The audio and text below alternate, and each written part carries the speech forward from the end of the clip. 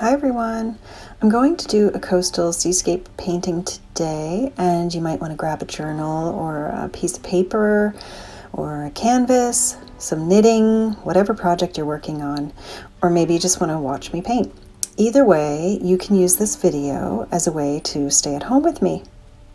So I am just taping off the edges here so that I'll have a nice um, white border around my painting, my finished painting. And um, this is just washi tape that I have reused again and again and again. Now the only thing is, is the adhesive does, um, well, it gets less strong, it gets a little weaker as you, the more you use it. So I'm really burnishing it down with my thumb there just to really make sure that it's adhered to the paper. Um, and you can use masking tape, that's another option. You can use artist tape. Um, but uh, this is just simple like paper washi tape uh, and I think at one point it might have been pink or some of it might have been different colors. Anyway I've reused it so many times um, that it has a completely different pattern now. I'm using Liquitex um, brand paint and I'm just going to choose a few colors and put them out here on my palette. This is just a like a wooden palette that has years of paint on it. That is cerulean blue hue. Next up is phthalocyanine blue, green shade.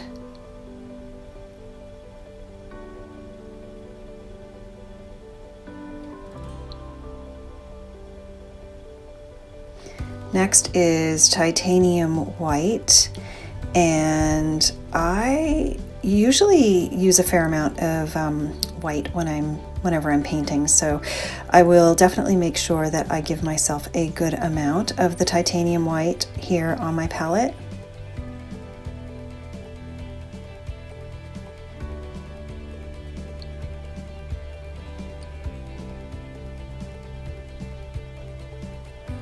Next is Hooker's Green Deep Hue.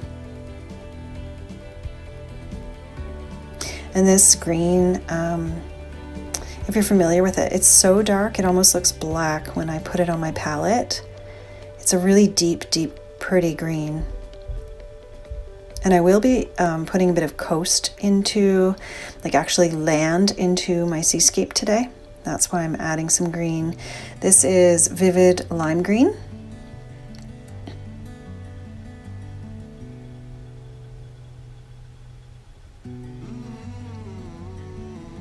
Little bit of raw umber.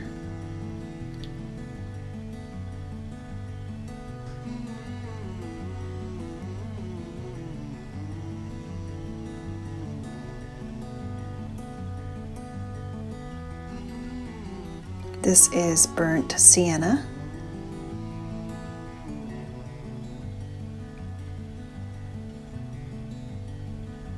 And the last one is Naphthol Crimson.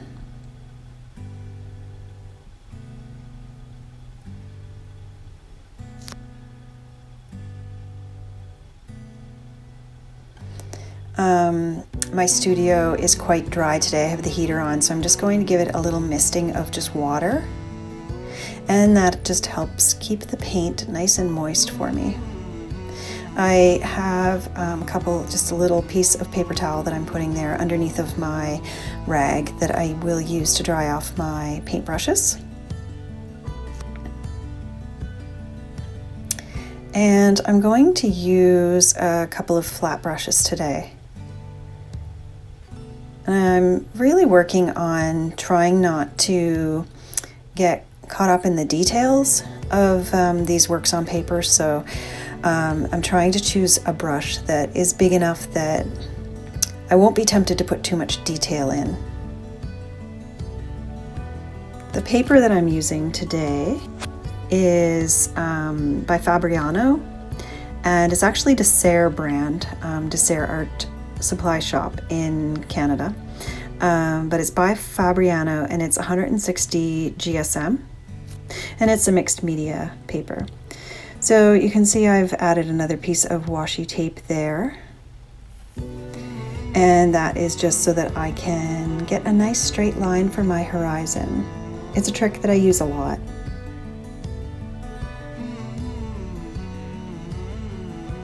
So I'm just going to paint along um, while I talk, and you guys can let me know if you have any questions at all about the video um, in the in the comments below. Uh, it's really informal today, us just hanging out and um, working on projects together, or uh, maybe find it nice and relaxing to watch, um, you know, to watch the painting kind of come to life before your eyes. So, yeah, I'm just going to paint out the sky here. And um, I like to try to get my sky nice and blended. Um, and I'm going to add just sort of a little bit of white just to kind of lighten by the horizon. Uh, and I'm going to add some swooping clouds to this piece too. I'm based in Nova Scotia, and one of our favorite places to hike is Herring Cove Provincial Park, and it has these beautiful big granite boulders and rocks along the shore. And um, it's quite a beautiful hike. And so today's painting is inspired by Herring Cove Provincial Park in Nova Scotia. And right now, like a lot of the world, um, we are not allowed in our uh, parks and on our beaches, and um, it's it's been tough. It's been really tough not being able to get out and um, to to get into nature. You know, we're allowed in our uh, we're encouraged to stay, I should say, in our own neighborhood. And so, in the meantime, whilst we can't go, I'm planning on just painting some of my favorite scenes from some of my favorite beaches and from some of our favorite hiking areas. And I'd love to hear about some of your favorite hiking areas and your favorite beaches, so definitely let me know in the comments below. So yeah, just peel off the tape and then you have your nice straight horizon.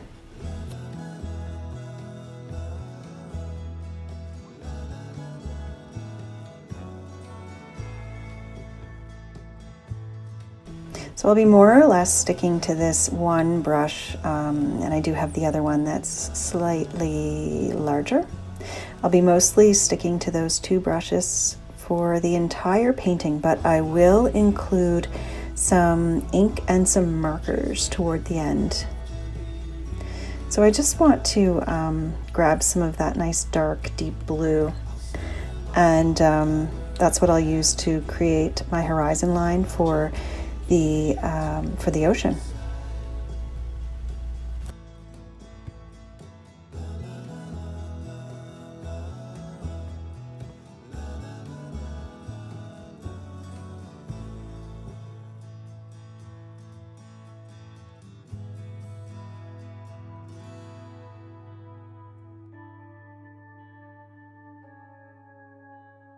And as I move closer toward us, toward the shore, I'm just going to vary the different um, shades of blue and kind of give it a little bit of visual interest, you know, where the sun might be hitting the water or where um, there may be some deeper spots or where a wind might, you know, cause a little bit of current on the water. And um, I'm just going to paint in sort of the, the shoreline here. And it's, like I said, a really rocky coastal shoreline. And those lines just kind of give me an idea. I'm not being really precise, and I'm trying to keep it uh, as loose as I can without incorporating too much detail, just kind of hinting and making the suggestion of, um, of you know, variances in the water. I've been really uh, working on being looser when I am working on paper and in my sketchbooks in particular. So if you have any suggestions for me about how I can incorporate that more into my work, please definitely let me know below.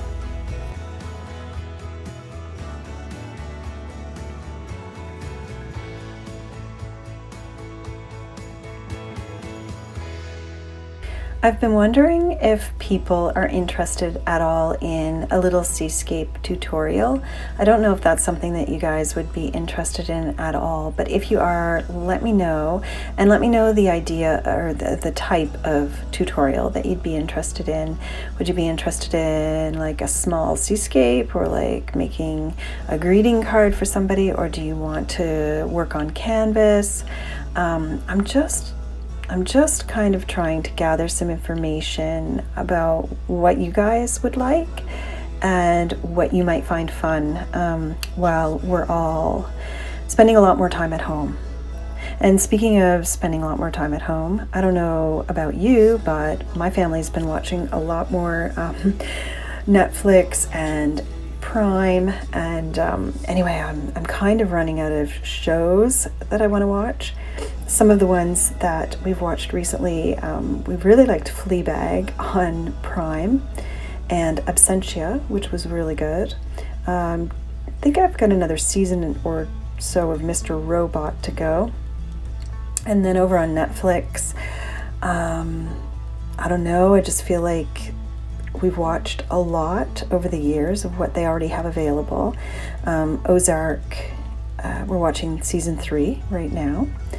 Um, and I haven't watched Tiger King, but um, I think I'm one of the last people to not watch it. I think I probably will, but I don't know. I've just been hearing so many things about it. I don't know if it is something that I really am interested in or not, but um, I love all the British crime dramas and all the Scandi crime dramas.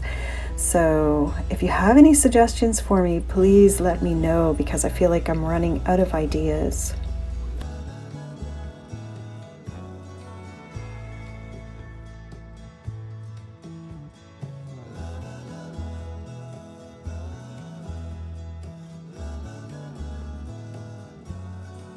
I try to use um, the rag that you can see there in the lower right hand corner is just a microfiber rag and I've had it in my studio for years and years and years and um, it's a quick dry so I just use it to when my brushes like when I'm washing them and when they're clean but still wet um, I will use it to dry them off although you can see that I have used it when they're not so clean as well with all of the blue stains on there.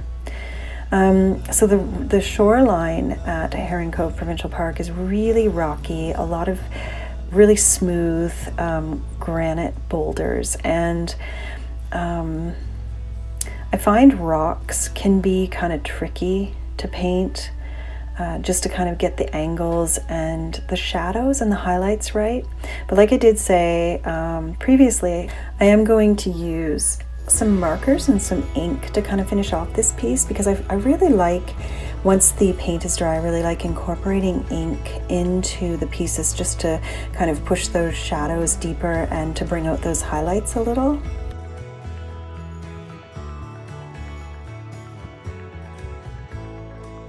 Right now I'm just sort of working on the shape of um, the landscape here in the foreground.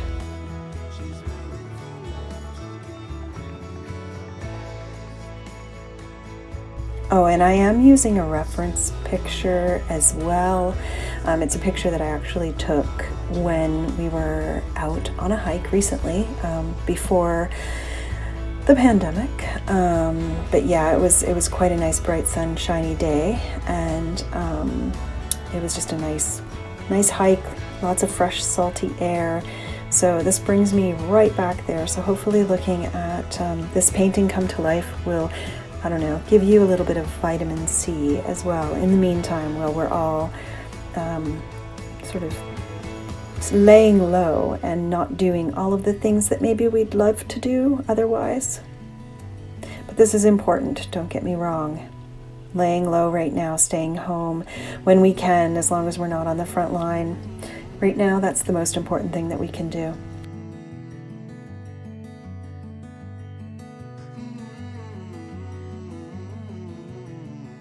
I find creativity really helps me on those days where you're just feeling a little restless or you're feeling a little trapped or you're feeling a little lonely or however you're feeling. Um, I think that art can be the very best form of therapy, and it just kind of lets you lose yourself and find yourself. And um, I don't know, I just find once I start painting, like the time just dissolves, and um, I don't know, somehow it just it makes my brain feel calmer and brings me a bit of peace. So hopefully it does to you as well.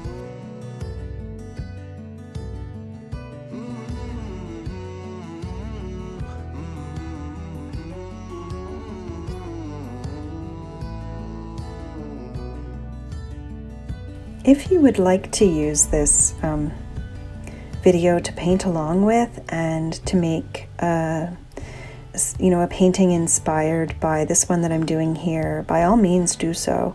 Um, I only ask that you um, like if you do make one and if you share it online tag me i'd love to see it and i'll be happy to share it in my stories as well especially on instagram i'm on there a lot um, i'm on facebook as well kimberley eddy fine art and um, Twitter as well. I'll leave those linked below if anybody does uh, decide to give this a try for themselves. And you know, like maybe you have a different medium that you like to work in.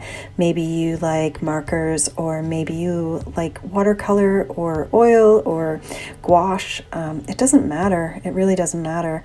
Uh, it's nice to use whatever you have on hand, whatever you prefer. Um, and um, I'd love to I'd, I'd love to take a look at what you're making. I get asked fairly regularly why I like using acrylic on paper, and um, I guess there's a few different reasons. First of all, I, I, I usually use a lot of really vibrant colors in my work. I like my work to be really saturated, and I like the saturation that I get with um, the Liquitex acrylics and with acrylics in general, really. Uh, I like the Liquitex ones, I do use them a lot, but there are other great brands out there, and even um, some crafting acrylic, and even the acrylic that you can get at the dollar store. If, um, if that's what's available to you, you can make some beautiful work out of whatever kind of paint you can get your hands on. Another reason why I like to use acrylic is that they dry so quickly. Um, I really like to get down, you know, block in my color and then come back and do some layers over top. And I really like when it's dry and I'm able to come in and like almost immediately afterward or within a few minutes and my work that I've, I've just laid down is already dry. I tend to work quickly and I just really like that I'm able to do that. It can be a little more challenging when you're trying to get uh, your paints blended together. You have to work much more quickly than you would with some other media, but um, I actually I enjoy that part of it. I enjoy that once I have something laid down, it dries really, really quickly, and then I can come back in and add details.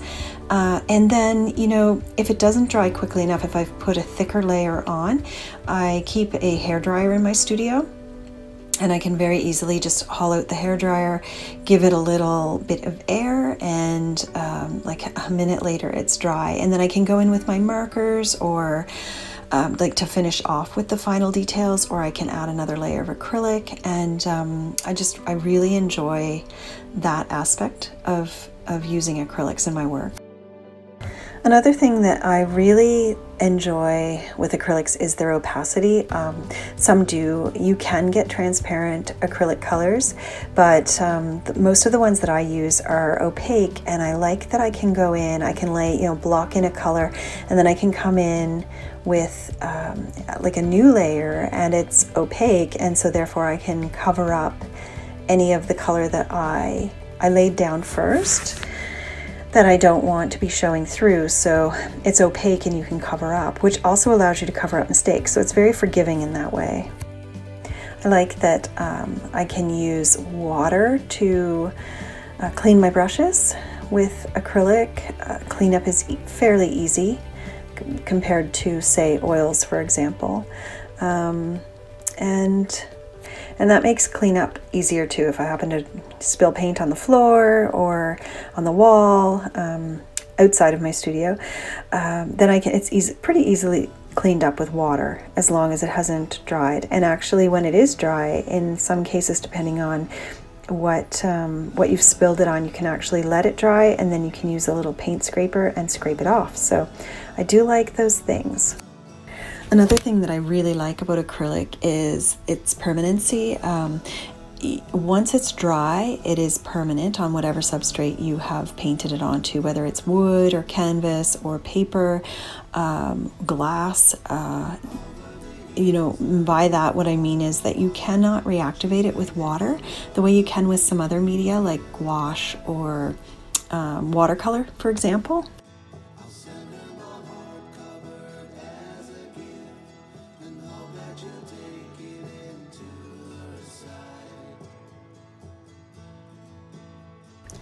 I'm just working on some low growing ground cover there in the foreground. Um, like there's sort of gorse growing in between the rocks. And then there's a little scraggly little evergreen tree, fir tree probably, um, on the right that I'm going to put in. I still think I'm focusing more on the details than what I want to be. Um, I really am trying to focus on being looser with my brush strokes, but I keep coming back to those little details, things that catch my eye. So I don't know if you guys have any suggestions for me as you see me painting this. Definitely let me know in the comments. I'd love to hear them.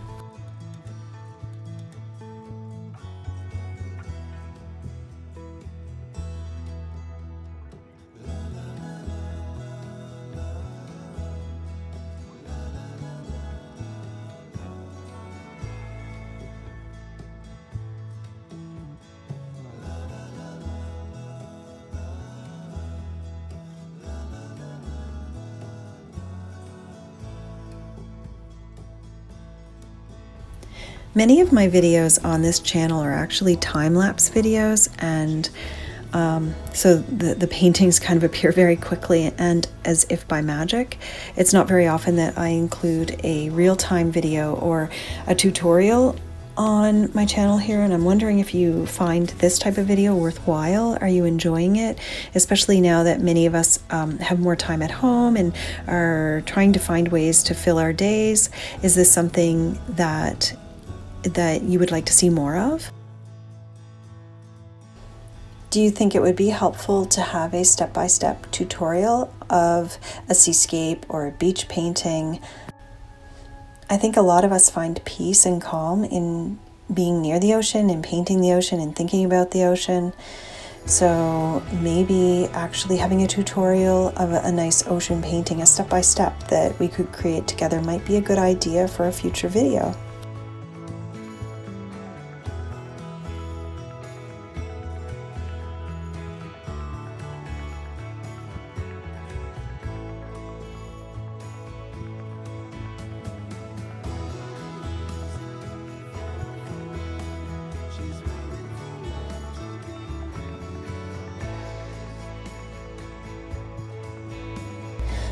Adding a few final highlights here with the paint, although I am going to bring out my markers and my pens very shortly to boost those highlights a little more and to push the shadows and just kind of um, uh, punch up the contrast a little bit.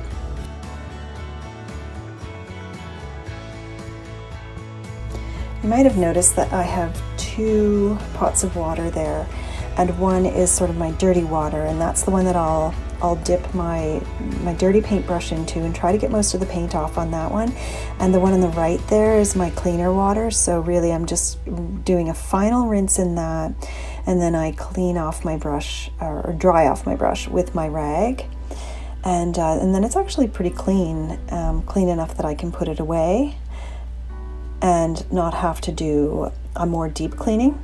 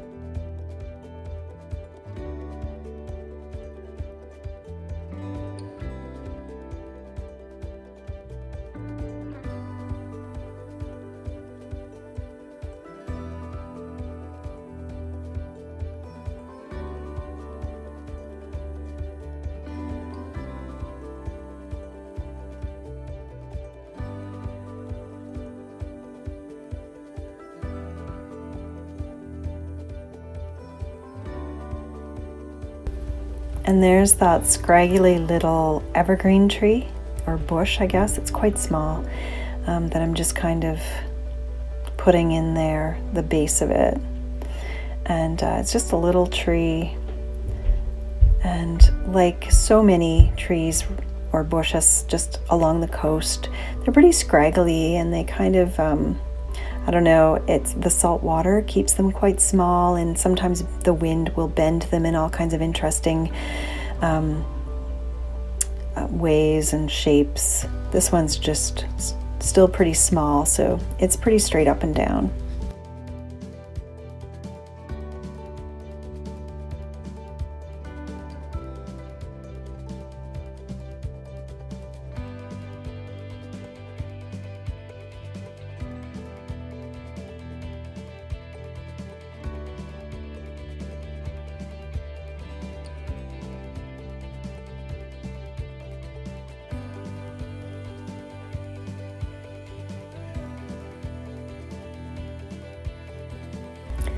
So I'm going to use a variety of markers and some are by Faber-Castell, the Pitt Artist Pens, which I really like. Those ones are Indian ink and they are waterproof.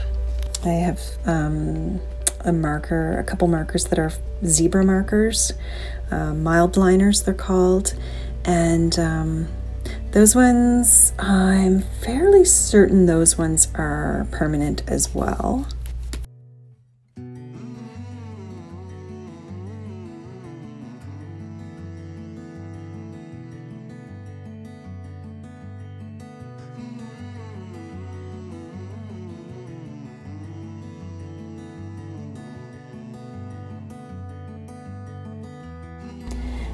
The other ones that you'll see, um, there's some a gray one by DeSerres, and it's a twin tip, so it's got um, like a bullet point and a brush point. And um, that one I believe is water soluble. So I think actually it is like if I were to take a wet paintbrush over it, I can actually blend it, um, which actually can come in handy sometimes when you're finishing off paintings as well. Because remember when you wet the acrylic it won't blend. So this just allows you to kind of push around the shadow a little bit um, by using a water soluble ink.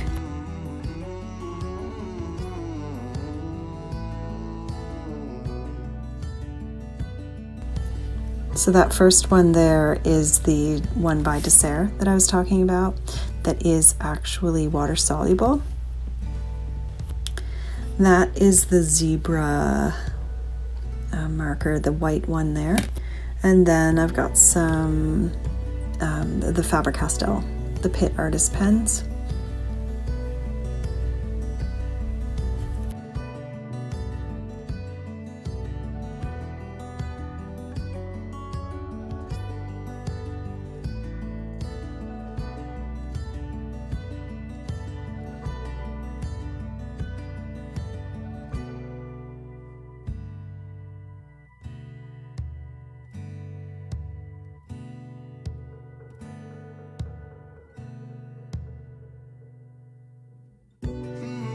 And I really like the Pitt Artist pens. They have a nice fine brush tip on them um, that I find, I don't know, I just find them really easy to use to add some little details. And um, I'm just kind of putting in some of the, the shadows and the cracks in the rocks here.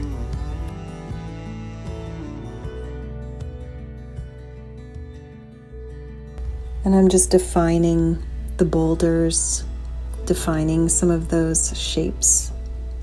There's some that are quite smooth and some that have some angular cracks in there as well.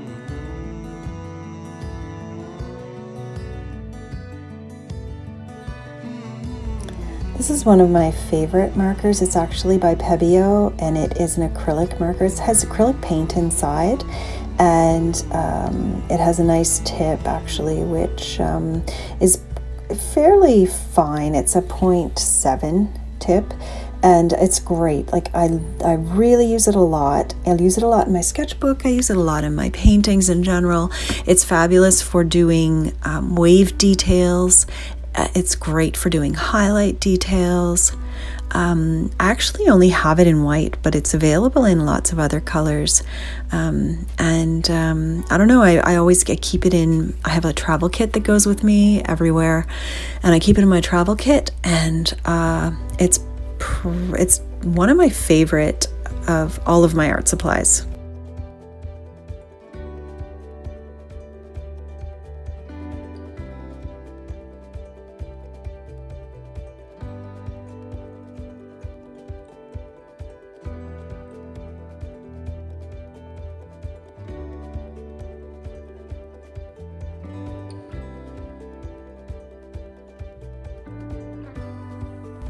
And I'm just going to tidy up my horizon there a bit with my Pitt Artist Pen. It just allows me to really kind of define that horizon and also be a little more, um, uh, I guess, just more accurate with the straight uh, line there. And just adding some variance in the watercolor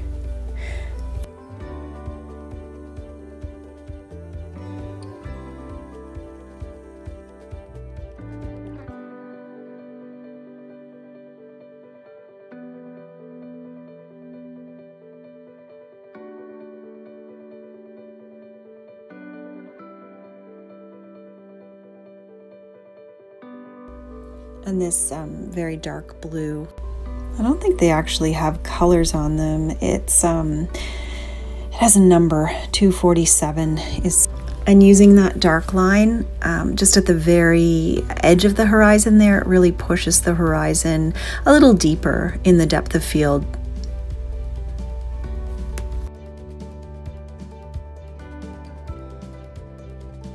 that's it. So yeah, we can pull off the tape and you can see what I was talking about. The adhesive is um, not as strong as it once was. It's almost time to replace some of these pieces of tape. I like to reuse them because it's just more environmentally um, conscious to do so.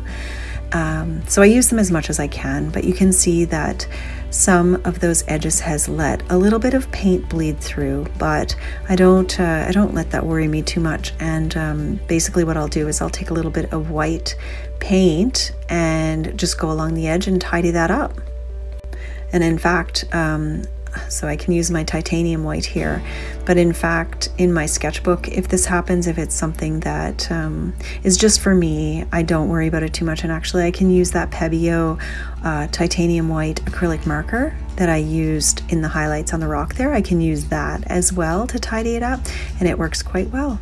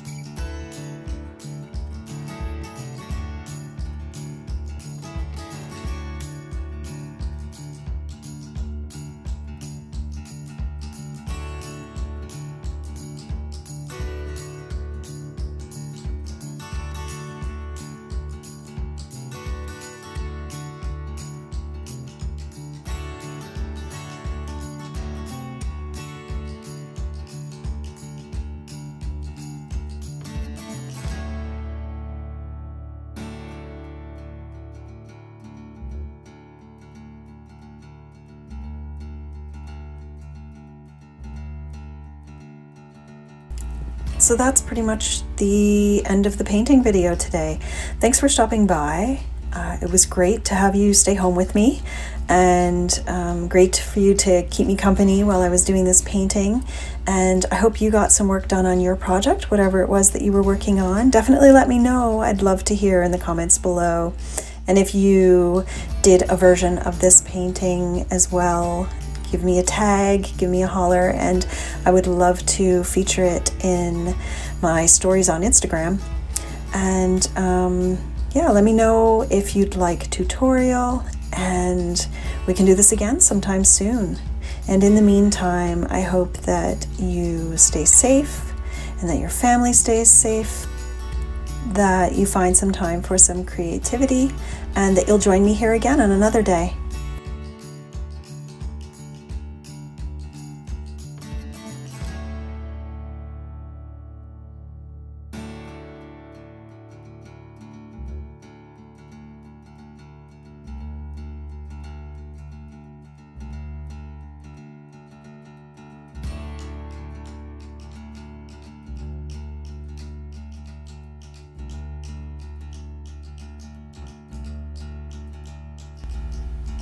Bye for now, everyone. See you soon.